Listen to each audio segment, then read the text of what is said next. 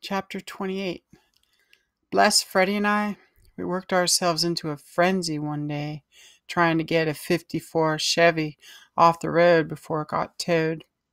He had us help him with tools under the car, running to the AutoZone for parts and searching for things in the shed. When he finally fired her up after a jump, we all cheered. Then we were anchored to the old couches in Bless's living room.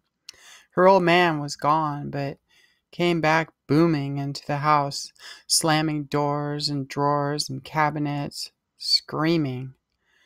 Where the fuck is it? He was looking for his dope. Bless and I both bolted up. Freddie was unaffected. What in the hell is the matter with you coming in here like that, you old goat? Bless shouted back at him. The old goat started searching the cupboard and the pantry. Bless kept on. Me and my friends, we were trying to suck on some perfect silence before you came in and dropped your monster. Ouch, I said, mostly to myself. Freddie's eyes were open, but he let the lids down half mast because he knew what we were about to see would not be pretty. No one else spoke in the room for about a minute. I could only hear drawers and cabinets opening and closing, then a tapping of the monster's fingers on the kitchen counter, and the sound getting louder as the place got quieter. Bless was trying to ignore him and Freddie was still. I was feeling slightly nervous by the tension all around, and the tapping lodged into my brain like a Ren and Stimpy episode. Do you think you could go away already? No sooner had the words left her mouth, Everett said something terrible under his breath, then rushed her. Another couch fight. She slid out from under him, cursing him out, and backed into me. I put a hand on her shoulder. She was tense, locked into battle. She looked back at me for a wide eyed second.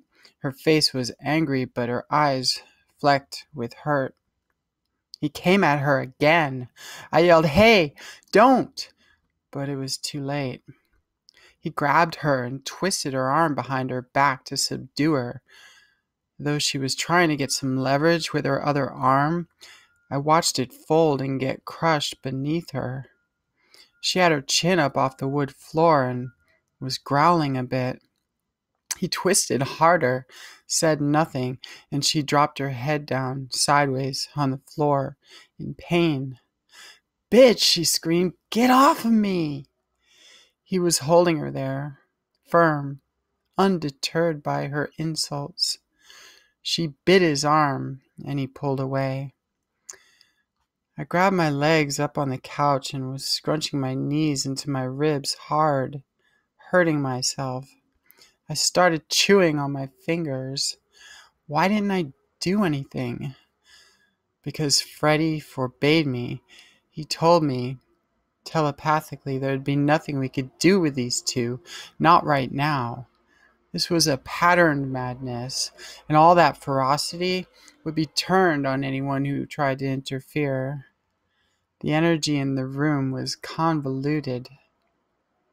Freddie stood up. He wanted me out of there.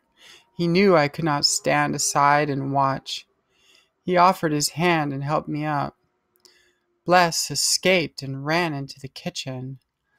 I touched into her thoughts to see what she wanted me to do, and she gave me a clear signal. She was strong. She could work her way out by herself. Not to worry. We all had the metaphysical capability beyond bodies, so the size and strength of a person was not so dangerous to us. But Everett was one of us, who had the edge of subtle senses could not be predicted, both at the moment exerting influence. Freddie pulled me out the front door with them. I couldn't resist the calm waves of our connection.